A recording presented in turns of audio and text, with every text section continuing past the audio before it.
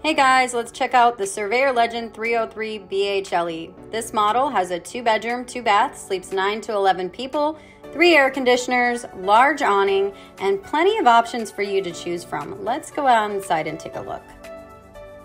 All right, inside we've got a very spacious living area, fireplace. We have a bunkhouse that sleeps up to five people, maybe six.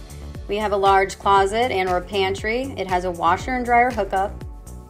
This model has tons of sleeping space, guys. This turns into a fold-out sofa. The booth dinette turns into a two-person sleeping area. Plenty of storage underneath. Moving on into the kitchen, you've got your sink, gold faucet, plenty of storage, three top stove burner, oven, beautiful fireplace, storage underneath. You've got a TV above and surround sound, your controls.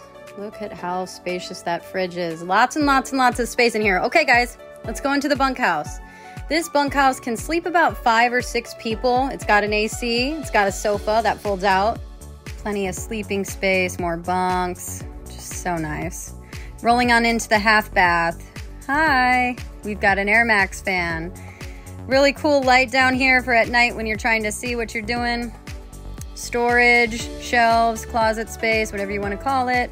Rolling on through to the other bedroom and bathroom designed really well. You've got some storage, you've got your control panels, your water system, nice large shower, Air Max vent fan, another AC.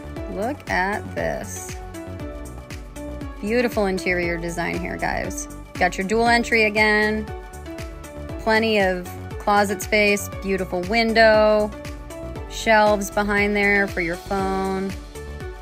Just everything is so nice and easy. Beautiful. All right, coming on through, guys. BobbyCombsRVCenter.com. We're opening our brand new building here at 4710 East 32nd Street. So come on by. BobbyCombsRVCenter.com, Yuma, Arizona.